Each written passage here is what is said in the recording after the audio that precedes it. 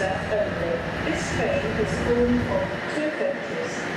For passengers intending to travel on this service, please join the train now as the train leaves. Captain John from the 0723 Elizabeth the service to Manchester.